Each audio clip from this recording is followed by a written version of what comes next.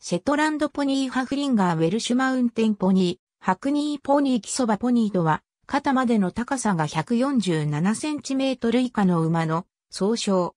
特定の品種を指すわけではなく、馬のタイプの一つであり、犬程度の大きさしかないファラベラから、日本在来のダバの類や、比較的大きいコネマラポニーなどが含まれる。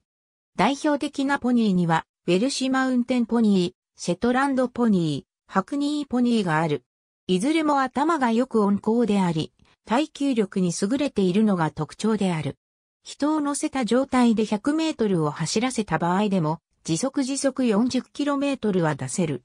産業革命期のイギリスやオーストラリアでは何千頭ものポニーが炭鉱の地下深くで働いていた。炭鉱が大規模化し、児童労働、女性労働が社会問題になるにつれ置き換わるようにポニーの数は増えていった。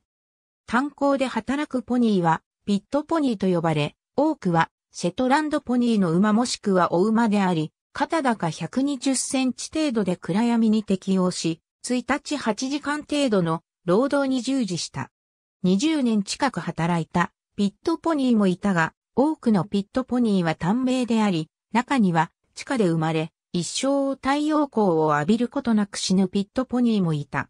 19世紀になって動物福祉運動の高まりとともに、ピットポニーの扱いに社会の関心が向くようになった。